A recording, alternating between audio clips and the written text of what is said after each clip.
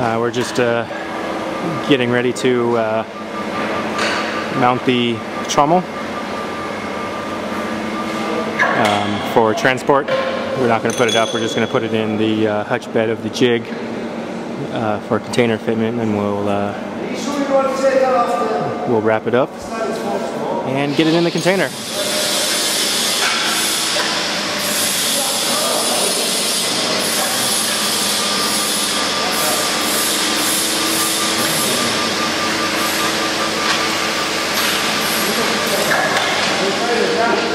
Boys are uh, finishing up the uh, cam action on the circular jig.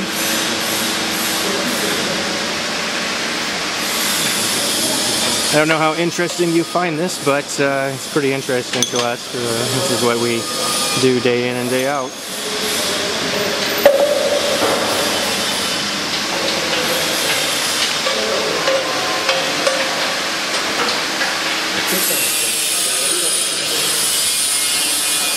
Uh, we had a couple questions on uh, what the inside of a jig looks like, and let me see how well I can do this.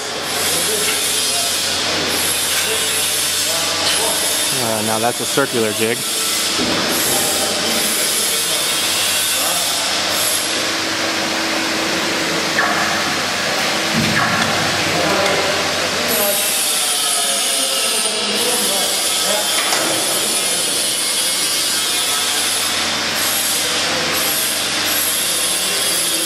We uh, took the removable hitch off so that I can better fit into the uh, container. You can see, like I said before, we use all quick fit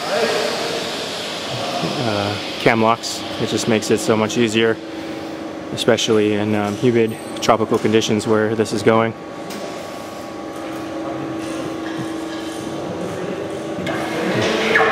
There is a cover for this piece. Can uh, see it over there. Excuse the mess. We are uh, full bore here.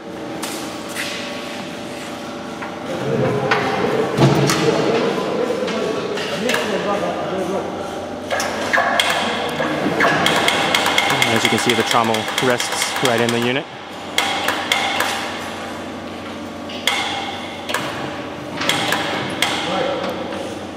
No, look, she's not going. It's cutting the groove here.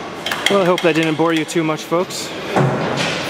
Um, feel free to keep uh, emailing me on um, close-up shots of uh, what you'd like to see. I've tried to get them all for you.